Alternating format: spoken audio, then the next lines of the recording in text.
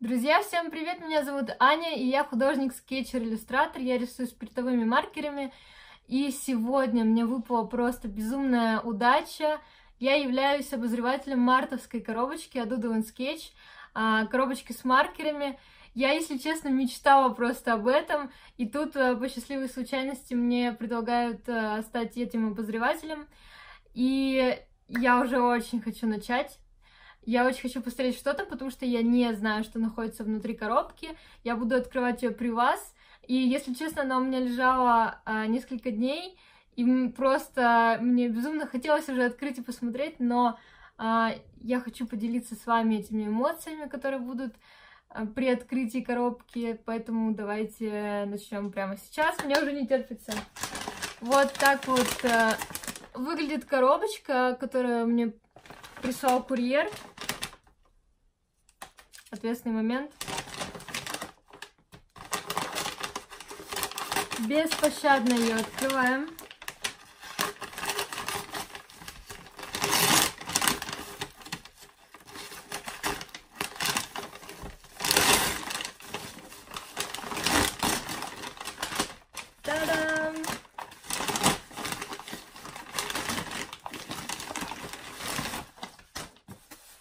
Вот так вот выглядит эта коробочка с наклейкой Doodle Sketch. И давайте откроем. Вау! Блин, ребят, смотрите, как, как все красиво выглядит. Конфеточки с Рафаэлой. Это просто очень-очень мило. И вот тут э, такая визиточка Doodle Sketch. Еще Рафаэлка, господи, сколько их здесь. И я вижу набор для выращивания с сиренью. Блин, это очень-очень круто. Ну, я вам хочу сказать, что у каждого в коробочке может чуть-чуть различаться, а, какой конкретно горшочек с растением, но, блин, это прям очень круто. Я обязательно посажу. Убираем прекраснейшую э, бумагу. Блин, это все богатство. Посмотрите. Это шикарно. Это маркеры Pro Marker от Windsor Newton. Вот так вот они. В каждой в индивидуальной упаковочке. Посмотрим с вами чуть позже цвета. Смотрите, вот такие салфетки. Антибактериальные. Это, кстати, очень круто и важно, что ребята положили. Потому что несмотря на то, что маркеры такой довольно не пачкающий материал, как, например, масло или акрил, все равно бывают руки в спирте в этом, и иногда как бы клин клином, спирт спиртом, поэтому очищаем руки спиртовыми влажными салфетками. Здесь еще есть вот такие милые открыточки. Тоже очень приятно, с логотипами Doodle Sketch. Боже, это вообще, это моя мечта, ребят. Это же скетчбук. Скетчбук Doodle Sketch. Просто шикарно. Я очень хотела, я наслышана о их бумаге. Боже, он еще такой толстенный. 200 грамм, 100 страниц. Все, я, короче, вообще влюблена полностью. И немаловажные инструменты это линер микрон 0,2. Я на самом деле пользуюсь 0,1, 0,2, примерно вот такими, с такой толщиной. И моя любимая гелевая ручка Роу, десятка. Я на самом деле десяткой пользуюсь чаще, чем э, 0,8 или 0,5, потому что у них там есть разные размеры. Вот. И, блин, это очень круто, тут много так всего. Особенно мне хочется разобрать вот эти маркеры что их огромное-огромное количество. И я еще хочу сказать вам, ребят, что самое крутое это то, что когда вы приобретаете эту коробку, содержимое ее будет вам дешевле, если вы пойдете в любой розничный магазин и купите все по отдельности. А, поэтому это намного выгоднее, если вы купите коробку. И вообще, ну блин, это же так круто, это столько эмоций. И, ну, Ну как? Ну как? Это все, это все надо есть, рисовать. Поэтому давайте быстрее а, перейдем к столу и начнем наш с вами видеоурок. Поехали!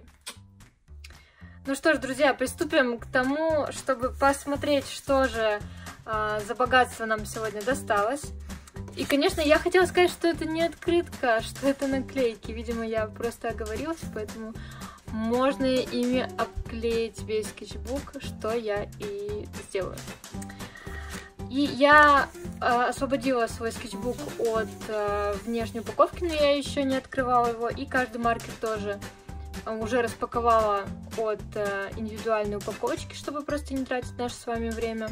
Но я также не знаю, что за цвета внутри, потому что э, маркеры такая немного коварная штука. Иногда цвет, который мы видим на колпачке, или вот как здесь у про маркера на самом маркере, он иногда может отличаться, поэтому нужно обязательно выкрашивать все маркеры перед тем, как вы приступите к основной работе.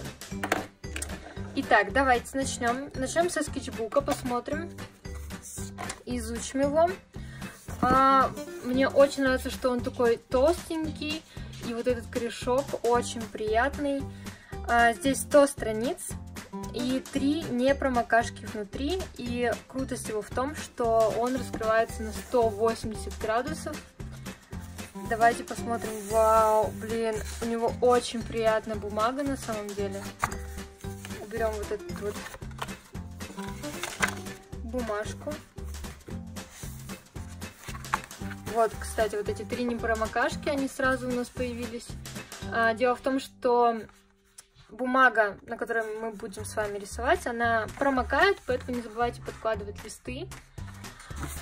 Вот, чтобы не запачкать остальные. Блин, он идеально раскладывается, я вам хочу сказать, действительно, на 180 градусов, потому что многие производители э, говорят, что да, у нас скетчбуки раскрываются на 180 градусов, но на деле не совсем, а тут прям очень круто. Я прям в восторге. Хочется уже попробовать порисовать. И бумага белая, белоснежная, довольно-таки глянцевая. Такая и должна быть как раз бумага для маркеров. И давайте вот на этом листе посмотрим, что у нас за материал. Я подкладываю подложку, не промокашку, поэтому не забывайте тоже это делать. И в первую очередь я хочу посмотреть а, толщину линера и его цвет. Толщина на самом деле очень-очень хорошая, именно вот э, у микрона 0,2. Это такая довольно универсальная толщина. А, на самом деле я микроны, да, действительно очень люблю и часто ими пользуюсь, поэтому тоже потестируйте. А, не нужно очень давить на линер, потому что вот этот вот пишущий узел, он довольно тоненький, остренький, надо быть очень аккуратным, чтобы в первые секунды нашего рисования не сломать его. Белую гелевую ручку мы посмотрим после того, как изучим маркеры.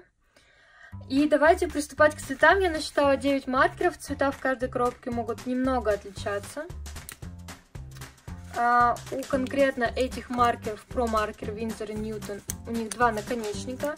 Это пуля и долото. Вот так вот они выглядят. Это долото, это пуля. И на самом деле Windsor и Newton э, самые удобные в этом плане маркеры, потому что здесь сразу видно, где какой наконечник, потому что а многие производители просто ты открываешь маркер и методы тыком ищешь нужный тебе наконечник, а тут сразу видно, что с этой стороны пуля, с этой стороны долото. Плюс дополнительно, видите, тут указано, что здесь долото и здесь пуля. И первый такой насыщенный голубой цвет, он у нас называется Cobalt Blue B637. Давайте его попробуем. Я обычно выкрашиваю долотом. Очень красивый цвет. И вы видите даже, как э, впитывается цвет в бумагу. Ой, вообще шикарнейший. Давайте подпишем его. Я всегда подписываю цвета, чтобы потом не забыть. B637. Шикарный, просто очень красивый цвет. И вот, видите, э, как раз для чего нужна промокашка, чтобы не запачкать еще другие листы, которые под ним есть. Так, далее идем. Такой насыщенный, ох, красный прям цвет губной помады. И он называется, о, он называется цвет губной помады. Я просто пророк Lip Secret. R. Сейчас мы его тоже подпишем. R576. Тоже очень такой приятный, немножко коралловый цвет.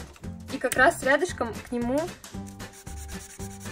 я выкрашу вот такой шикарный розовый, прям лососевый на самом деле цвет. R547. И на самом деле, мне кажется, вот эти два цвета, они могут отлично у нас с вами смешиваться.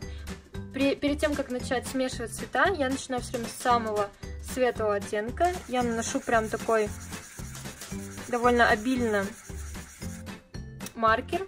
То есть я не отрываю руку от бумаги. Далее беру второй цвет, который уже более темный, и прохожусь также активно, немножко залазя на предыдущий наш первый цвет.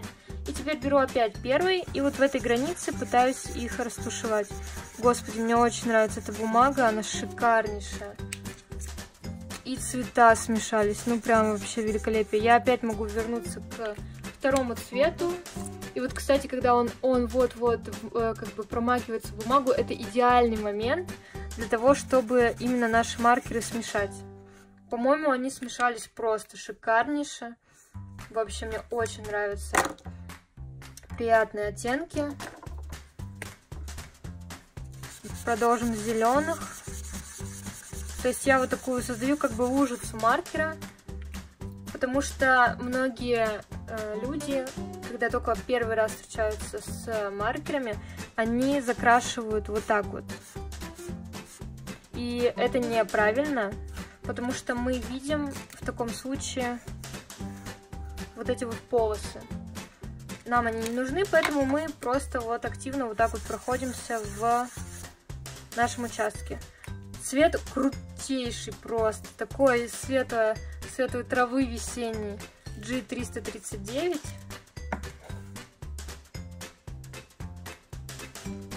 Очень красивый. И как раз тут есть у меня еще один зеленый, тоже сразу рядышком их выкрашу.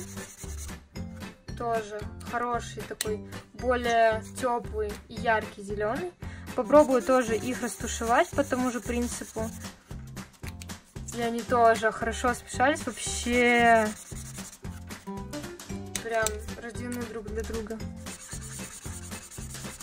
То есть вы видите вот этот плавный переход, который создается от светлому к темному.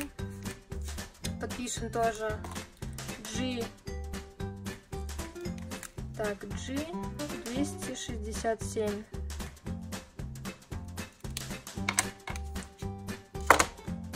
И также у меня есть коричневый в наборе. Есть вот такой вот светлый, а, карамельный он называется цвет. Карамело. Давайте тоже его попробуем. Ой, такой приятный. Ноль семьсот двадцать семь. И как раз тоже есть э, более темный цвет, коричневый. Поэтому тоже сразу я смешу, посмотрю, насколько хорошо они смешиваются. Заодно выкрашу. Он у нас более такой шоколадный. Беру предыдущий маркер и прохожусь в границе.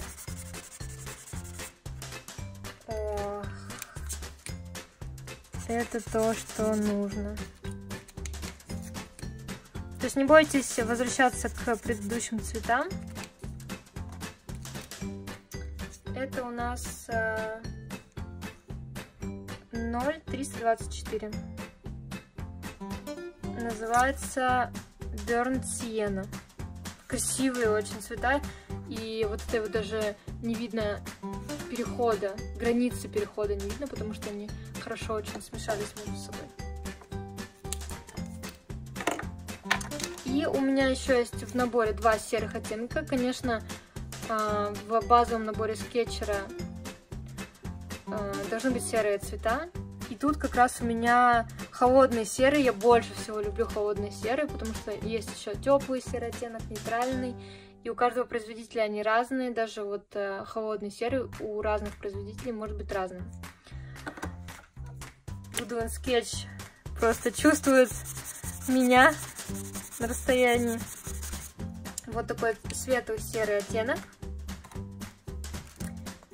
CG2. Cool Grey 2. И рядышком я выкрашу второй серый.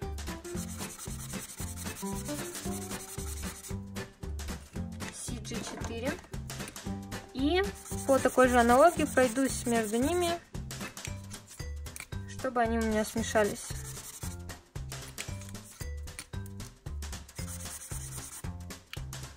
Тоже отлично они смешиваются. CG4. И можно как раз сейчас э, посмотреть, как э, белая гелевая ручка работает. Белая гелевая ручка нам нужна для детализации работы. То есть мы можем сделать какие-то блики, нужные нам эффекты. Все это благодаря белой гелевой ручке. То есть можно ставить вот такие точки различные, э, линии и так далее. Она очень ярко эффектно смотрится. Я люблю гель Roll. И десятка, она хоть и толстенькая, но, не знаю, мне почему-то нравится как раз более толстые линии, э, толстые пятна вот в детализации конкретно маркером.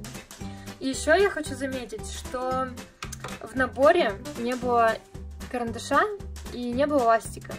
Чему я на самом деле очень рада, потому что я как раз тот человек, который за то, чтобы не использовать карандашные наброски, потому что когда вы начинаете работать сразу линером, это очень тренирует вашу руку, и нету такого, что а на самом деле карандашный рисунок можно э, как бы менять миллион раз, потому что у нас есть волшебная стреляная резинка, и вот мы сидим над одним рисунком, очень много э, накидываем работ, вариантов, потом стираем, потом делаем заново, очень много времени отнимается, а когда мы начинаем работать сразу линером, э, некая ответственность возникает за свой будущий рисунок, ты становишься более таким э, уверенным в себе, и не бойтесь белого листа, есть на самом деле даже такое упражнение, если кто-то боится прям, вот знаете, когда приобрели такой классный скетчбук белый, и все боятся рисовать на нем, то просто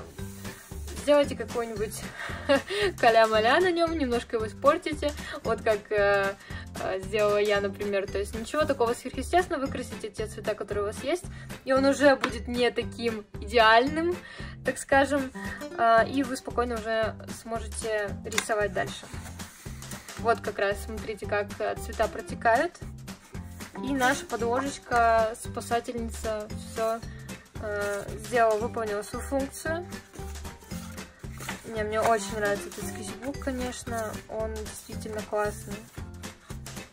И вот это раскрытие на 180, а, реально на 180, а не как многие обманывают. И вот эта твердая обложка тоже мне очень нравится, потому что в мягких обложках у меня вечно все пачкается, рвется, мнется, а тут такой прям э, ученический такой проект. Вот, поэтому я надеюсь, вы попробуйте тоже этот скетчбук, эту бумагу. А, обязательно выкрашивайте свои цвета перед началом работы. Еще раз напомню, что они могут отличаться от того, что представлено конкретно на маркере. То есть вот даже мы можем вот так вот сравнить. И через камеру видно, что вот этот цвет на маркере и цвет на бумаге, он немного, но отличается. Поэтому с этим надо быть э, аккуратнее. Вот, и давайте уже с вами начнем к работе, посмотрим, что можно сделать вроде таким, э, кажется, на первый взгляд, минимальным набором цветов. Но я хочу вас разубедить э, в том, что нужно иметь э, очень много маркеров, чтобы сделать крутую иллюстрацию или крутую работу. Нет, на самом деле можно иметь, э, как в нашем случае, всего лишь 9 маркеров, линер и белую гелевую ручку, и клевый скетчбук, собственно. И с помощью этого набора сделать очень классную, а, яркую иллюстрацию. Так что давайте начнем. И не забывайте, что одним цветом вы можете сделать такую полноценную работу, просто потому что чем больше цвета вы наносите на бумагу, тем он становится насыщеннее. И смотрите, чтобы обязательно один лист был светлее, другой темнее, потому что один находится в тени, и мы все время как раз его утемняем. Тогда у вас будет, будет более объемная работа. Одним и тем же цветом можно проходиться несколько раз, утемняя нужные нам участки. Вы можете сделать такие хаотичные движения. Главное, чтобы вот самая темная часть у нас была вот здесь доходя до края и вот э, не доходя до половинки кружки. Давайте еще добавим а эффект ржавчины, почему бы и нет. Возьмем 0 О324 и вот такие вот потертости. Вот у нас тут что-то стекает какая-то ржавчина, собственно. Кое-где ставлю такие пятнышки. Просто ради такой эстетики. И я именно детализирую тюльпаны, не растения сзади, потому что наша цель привлечь внимание зрителя к тюльпанам. И обязательно смотрите, чтобы движение вашей руки шло опять по ходу предмета, то есть меня горизонтально. И подписать дату. Надеюсь, вам понравился этот урок. А, творите, а, вытворяйте, вдохновляйтесь. И, конечно, желаю вам творческих успехов. А, вот, надеюсь, вам было в кайф и вам понравилось.